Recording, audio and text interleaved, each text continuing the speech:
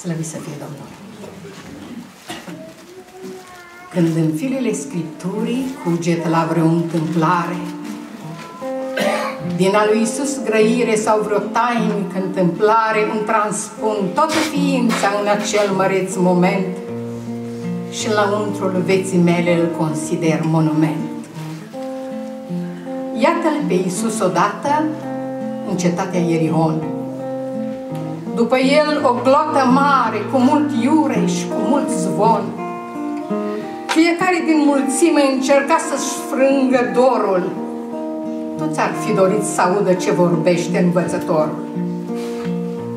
Printre ei un om de vază, socotit și om bogat, era el, Zacheu, un vameș, însă mai mărunt de stat, căuta o formulare ca de undeva de sus să privească doar o clipă fața blândă lui Isus.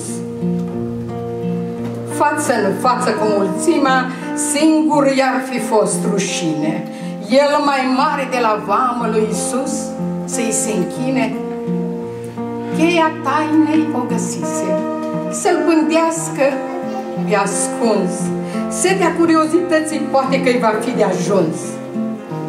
Și alergă înainte în cale și cu sufletul setos, hotărât cu orice riscuri să-L vadă pe Hristos, căci ardea în el dorința, îl măcina o chemare și parcă din clipă în clipă lupta era tot mai mare. Fremătat ca marea în clocot sufletul acestui om, să-L poată vedea pe Domnul, trebuia să urce în pom. Ce ocazie ferice, nici când n-ar va fi întâlnit. O, Zacheie, ce momente, cine ți le-a hărăzit? Iată împăratul păcii se apropie pe drum, inima ta răscolită îl întâmpină acum. Pregătește-ți glăsuiairea, de ea îți atârnă viața să o veșnică pe S-a oprit deodată gloata.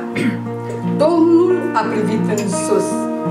Colondut cuprins de spaimă, era un zacheu supus.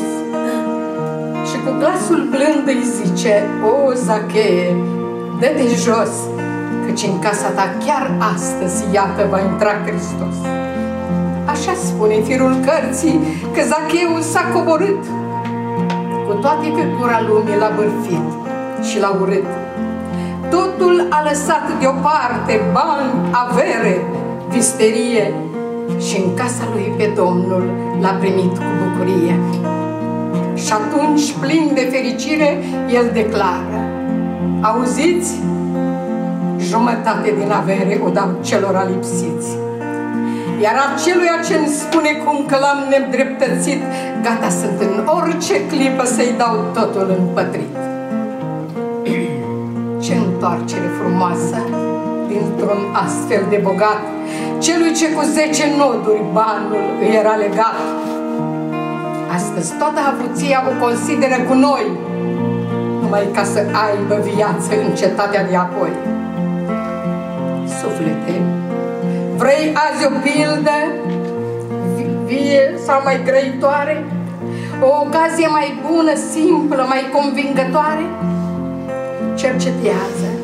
De lăuntru ai dorința lui Zacheu și de o ai, îndreaptă-ți pașii să întâlnești pe Dumnezeu.